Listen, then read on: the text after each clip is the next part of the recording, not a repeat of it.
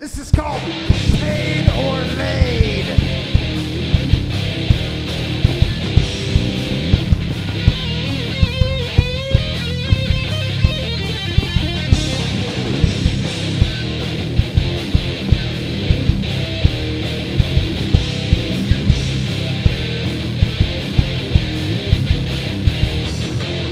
Well, I've been working all up like a slave on a chain for the motherfucking peanuts that they